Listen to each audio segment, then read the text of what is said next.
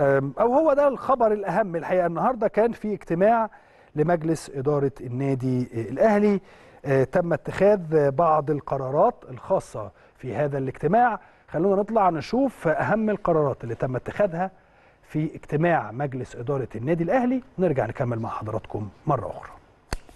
هذه تحية لكم مشاهدينا الكرام جمهور النادي الأهلي العظيم في كل مكان عبر شاشة قناة النادي الأهلي وحساباته الرسمية على مواقع التواصل الاجتماعي. نستعرض معا في الدقائق التالية أهم وأبرز قرارات مجلس إدارة النادي المنعقد بمقره التاريخي بالجزيرة اليوم الأربعاء 14 ديسمبر 2022 برئاسة الكابتن محمود الخطيب رئيس مجلس إدارة النادي الأهلي.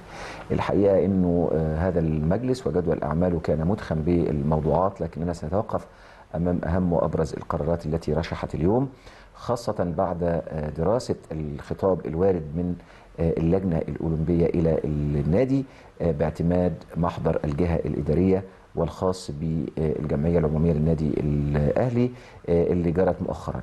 هذا الخطاب الوارد من اللجنة الأولمبية المصرية أشار إلى أن مجلس الإدارة هو المفوض في اختصاصات الجمعية العمومية وعلى ضوء ذلك الخطاب قرر المجلس في اجتماعه اليوم مجموعة من القرارات المهمة لعل أبرزها وده خبر سعيد الحقيقة بالراغبين في الانضمام لعائلة النادي الأهلي في ضوء الإقبال الكبير الفترة الأخيرة على فروع النادي المختلفة وعلى عضوية النادي خاصة فرع القاهرة الجديدة. قرر المجلس تأجيل الزيادة المقررة. على رسوم العضوية في فرعي النادي بالشيخ زايد والقاهرة الجديدة حتى 30 6 2023 ست شهور فترة كافية جدا وذلك حتى يتسنى للراغبين في الانضمام لعائلة الأهلي الاستفادة من الإسعار الحالي. الحقيقة أنه التشغيل التجريبي منتظر في خلال أيام أو أسابيع قليلة يشهد فرع القاهرة الجديدة في منطقة التجمع الخامس.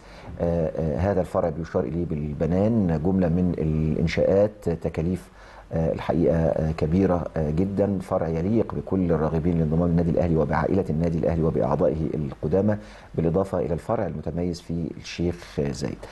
كانت الأسعار زي ما حضراتكم عارفين 250 ألف جنيه. هذه الأسعار معمول بها حتى 30 6 2023 إن شاء الله. وهناك نظم لتقسيطها أيضا للتيسير والتسهيل على كل الراغبين في الانضمام إلى عضوية أو إلى عائلة النادي الأهلي وعضوية فروعه المختلفة.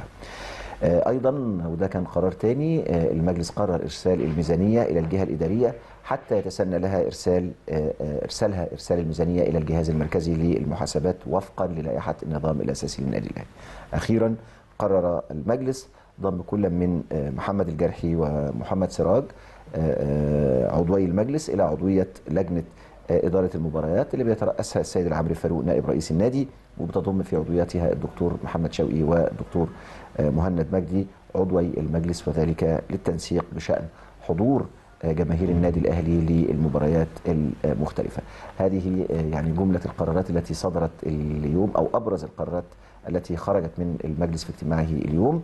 كل أمنيات الطيبة بدوام التوفيق للنادي الأهلي ودائما ابدا تحت مظله مصر الكبرى. شكرا لحضراتكم طيب دي كانت أهم القرارات اللي تم اتخاذها في اجتماع مجلس إدارة النادي الأهلي النهارده.